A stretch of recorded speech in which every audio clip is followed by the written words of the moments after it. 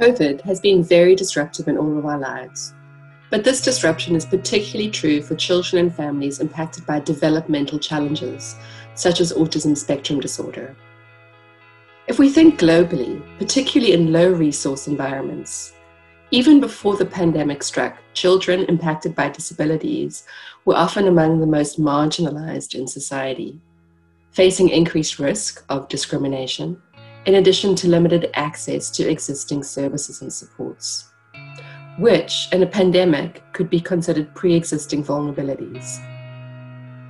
COVID has disrupted numerous service sectors that children and families impacted by disabilities rely on, including health services, the social protection system, and schools. In particular, Schools around the world often provide key learning supports for many children with developmental challenges, including autism. Recognizing that this pandemic has the potential to worsen pre existing disparities, we really should be prioritizing children and families impacted by disabilities, such as autism, in outreach and inclusion efforts, in addition to reopening plans.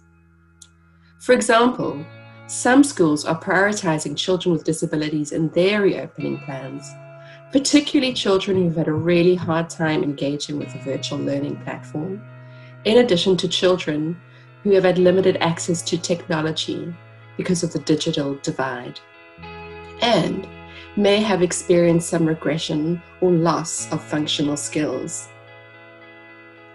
So, from a policy perspective, we should be prioritizing children and families impacted by disabilities in outreach and inclusion efforts, recognizing that they may face unique pre existing vulnerabilities which warrant unique attention as we continue to live in this pandemic world.